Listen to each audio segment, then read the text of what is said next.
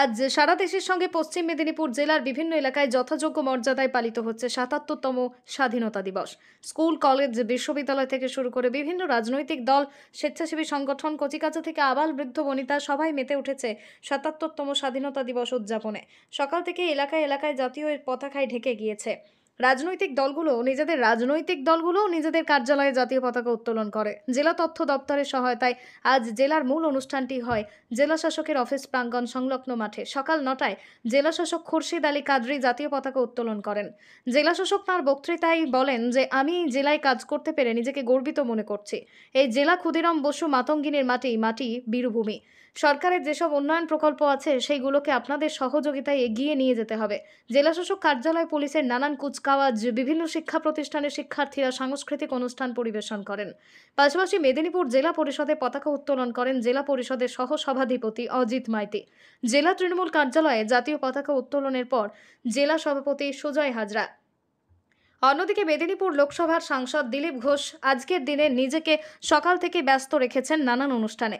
সকালেই নিজের বাংলোয় পতাকা উত্তোলন করেন। তারপরেই জাতীয় পতাকা নিয়ে বাইক র্যালি, রেল কলোনি এলাকায় দুস্থদের জন্য বই এবং বস্ত্র বিতরণ করেন।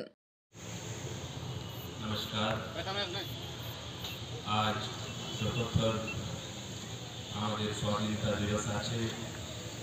আমি এখানে উপস্থিত সবাই পশ্চিম মেদিনীপুর বাসীকে অভিনন্দন শুভেচ্ছা জানাই আমি আজকে গর্ব অনুভব করছি বিপ্লবী মাটিতে আমি এক কাজ করতে পেরেছি আমাদের এই যে গর্ব আছে যে আজকে আমাদের যে মাটি এখানে কুড়িয়াম বোর্ডের মাটি আমাদের যে মাটি মাটির নাম হাজরা মাটি আমাদের যে মাটি আছে যেটা মাটি আছে, আমাদের প্রযুক্তি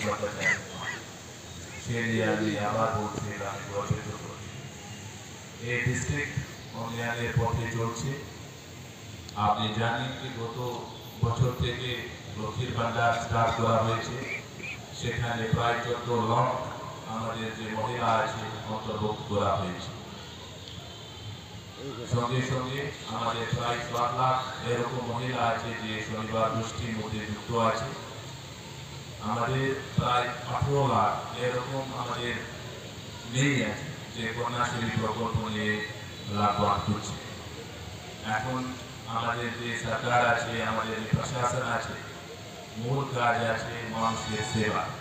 আমি, আপনি জানেন কি প্রত্যেকটা জায়গায় এখন দুয়ারে সরকার চলছে, সে অনুযায়ী প্রত্যেকটা জায়গায় আমাদের যতগুলি পরিষেবা আছে, সেই পরিষেবা আমি দিতে চলেছি। আগামী প্রথম সেপ্টেম্বর থেকে আবার দুয়ারে সরকার স্টার্ট হবে। আমি আশা করছি যে প্রত্যেকটা মানুষকে নিয়ে লাভবান হবে উপকৃত হবে আমি আবার বলছি, আমার জন্য এ গর্বিত আছে কি পশ্চিম মেদিনীপুর মতন জায়গা আমার কর্মভূমি হয়ে চলেছে। এই ভূমি যেখানে ঈশ্বরচন্দ্র সাগর মতন একটা মানুষ যেন দিয়েছে এই মাটিকে আমি প্রণাম জানি সালাম জানি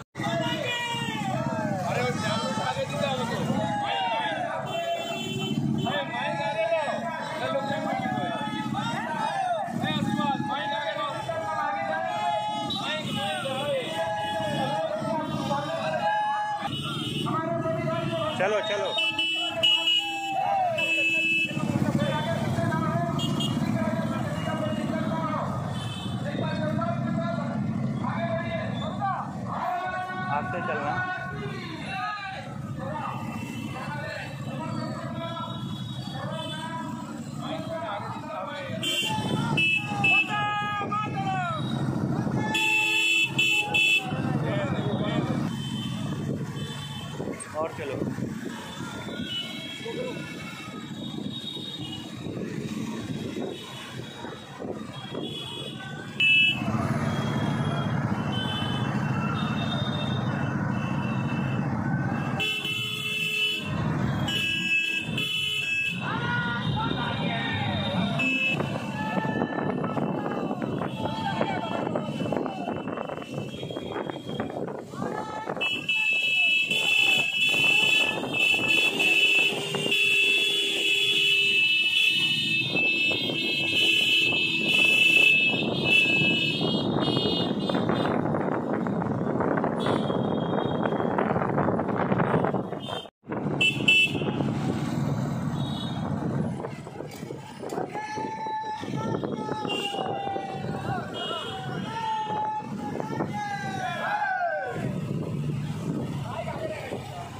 ハハハハ!